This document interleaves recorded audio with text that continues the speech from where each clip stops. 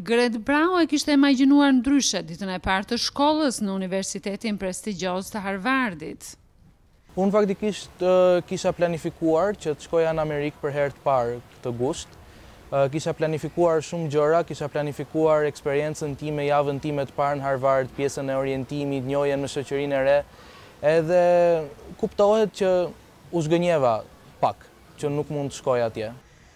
Një udhëzim i ri i Agjencisë Federale të Imigracionit nuk i lejon studentët e rinj ndërkombëtarë që do të ndjekin klasat vetëm online të marrin viza për të hyrë në Amerikë, të paktën për simestrin e parë. Udhëzimi i ri, megjithëse i papritur, prek një numër më të vogël studentësh ndërkombëtarë, Një udhëzim i mëparshëm i Agjencisë Federale të Imigracionit që kërkonte largimin nga vendi të të gjithë studentëve të huaj për sa kohë klasat do të ishin vetëm virtuale, u anulua kur qindra universitete mbështetën Harvardin dhe Institutin e Teknologjisë në Massachusetts dhe e sfiduan vendimin në gjykatë. Korrigjimi që u bë në katërmbëdhjetë korrik ishte si thuash një lehtësim shumë i madh. Megjithatë mbetet për t'u parë se si do veprohet me studentët e rinj, pra që priten të fillojnë në vjeshtë të dy mijë e njëzetës.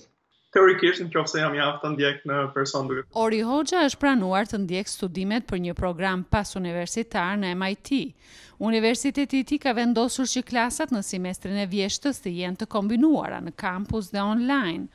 Por, nëse nuk do të arrijë të marrë vizën në kohë, ndjekja e studimeve për Orin do të jetë e vështirë.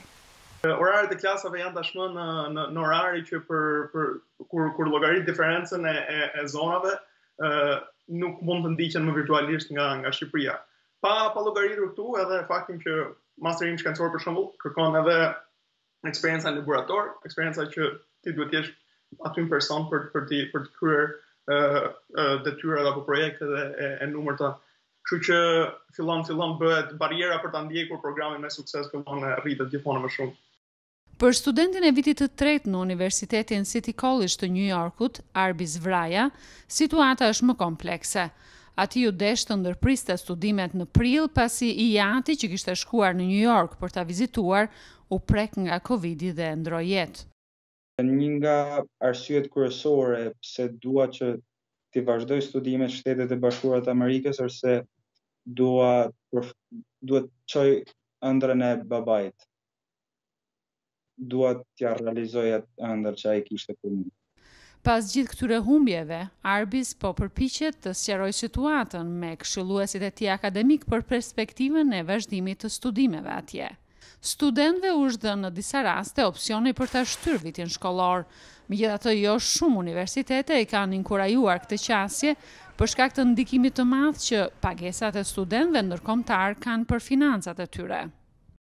kjo nuk është stimuluar shumë, sepse, siç e thashë, ka një impakt shumë negativ në, në buxhetin vjetor megjithatë. Për shkak të numrit të madh të studentëve të huaj, impakti është shumë domethënës. Për, për vitin që vjen, Edhe situata është shumë e vështirë për t'u parashikuar.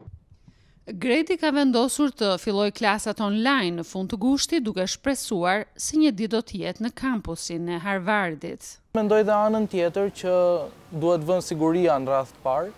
Kështu që kur i mendoj gjitha këto, them që edhe sikur t'i bëj një semestër ose dy semestra online, mjafton që unë atje do shkoj gjithsesi. Ori është optimist se situata mund të ndryshojë shpejt.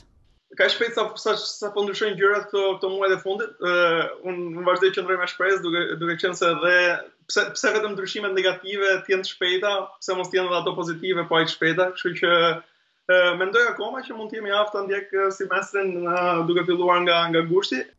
Kolegjet amerikane presin të kenë një rënie të madhe në numrin e studentëve që vijnë nga jashtë në mes të pandemisë dhe një ngadalësim në përpunimin e vizave.